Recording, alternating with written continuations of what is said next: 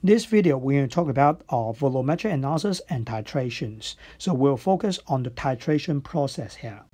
So for the titration process, first of all, you have to transfer a known volume of analyte to the conical flask with pipette, okay? Because you are using pipette, so the volume of the analyte used will be very accurate.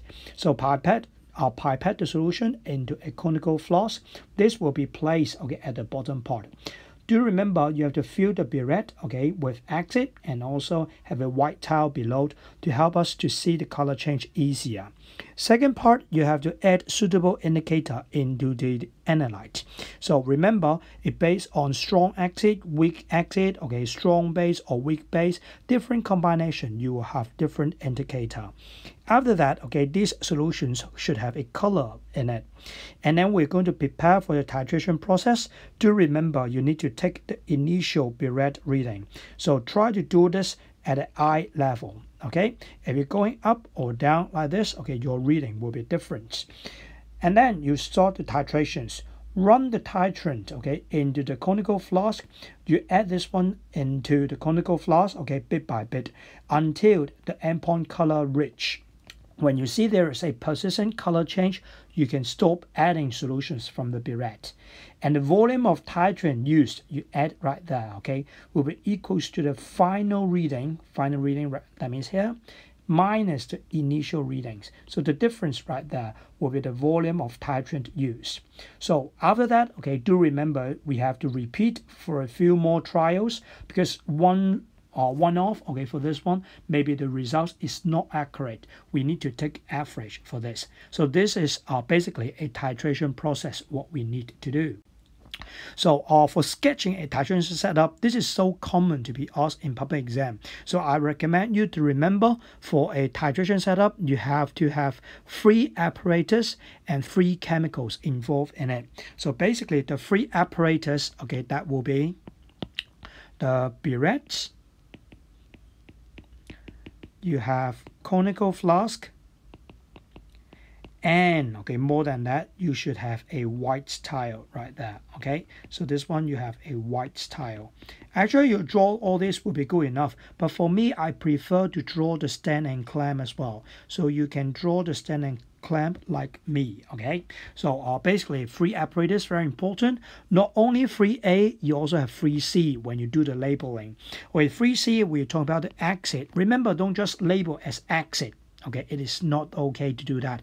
You have to say hcl h2so4 also alkaline don't say like that okay? Naoh koh and also the indicator. Have to be specific. You're using methyl orange or phenolphthalein okay? So um Remember, okay, the acid and alkaline actually they can be placed okay in the burette, not necessary to be alkaline on the top, okay. Even though long time ago the alkaline, okay, uh, most likely will be put away in the conical flask, but now it will be fine, okay. So the burette, okay, you may draw like uh, this one, very detailed okay but for me okay i will draw like this way that would be also good enough so that would be a long slim tube okay and then you have a tube like this.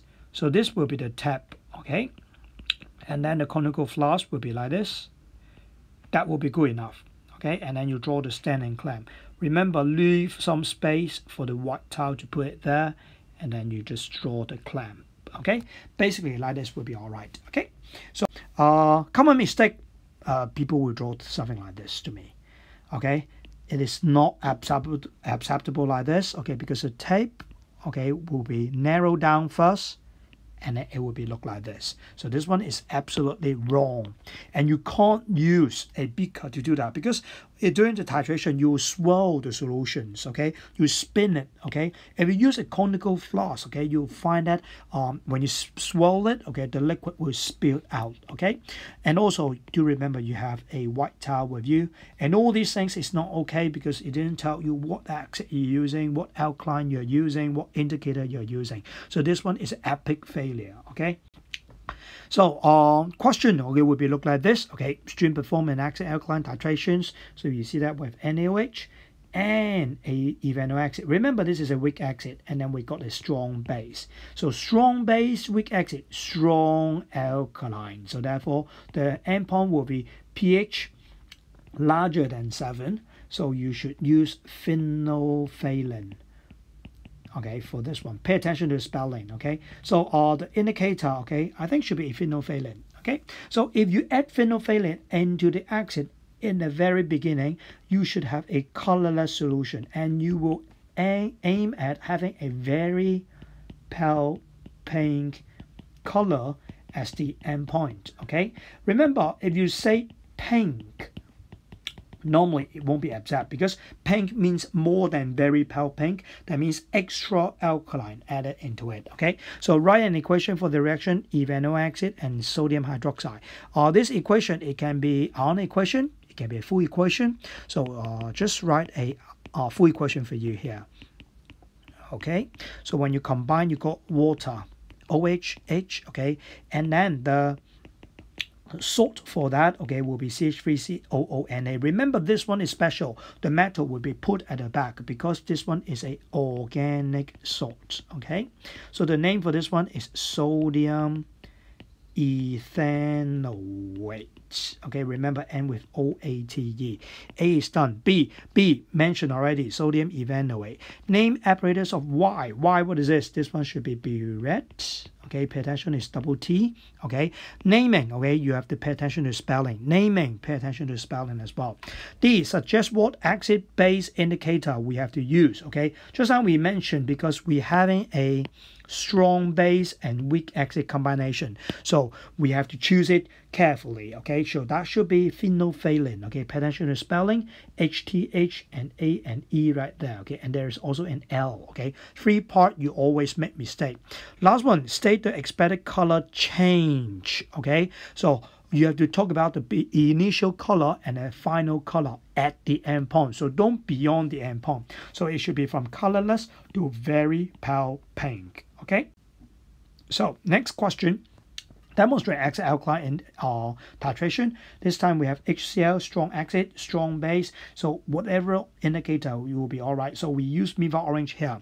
So methyl orange into sodium hydroxide at the very beginning before any HCl add into it.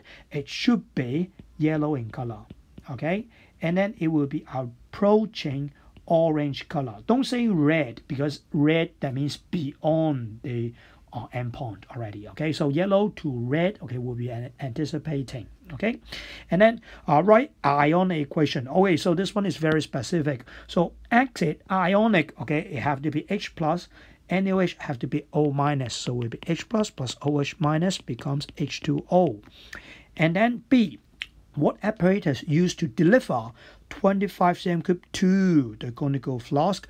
Okay, you may say it is a pipette, but if the marking is very, very straight, okay, then you won't get any mark, okay, because you have to tell them it have to be 25 cm cube pipette. So this one, please get used to this, okay, when you talk about pipette, okay, or volumetric flask, do state, okay, the volume that you're using. Color change, just now mentioned, yellow to orange, okay, this is a change, okay, so you have to talk about uh, before and after. If teacher using 0.1 MNH3 instead of NaOH, so if you use NH3, that is a weak base. Strong acid, weak base, that means more close to the acidic part. The endpoint should be smaller than pH 7. So can we use methyl orange for that? Okay, yes, we can keep using methyl orange. So this one will be all right. Okay. So summary, okay, we have learned about the process of titrations. You transfer solutions using pipette into the conical flask. Set up the things like this. Okay, you add suitable indicator to give a color change for the alkaline, and then you read take the reading very very important initial readings okay and then you start adding the solutions okay into the analyte okay until the endpoint color rich okay after that okay you do the uh, subtractions okay initial readings will be here initial reading final reading should be downstairs okay? So final reading minus initial reading then you will see the volume added okay? So after doing this okay you're going to repeat a few more trials to get an average okay? To have a more accurate result. Setup sketch remember 3a 3c for this one better add the white tile and also the stand and clamp okay? So that's all for this video. Bye bye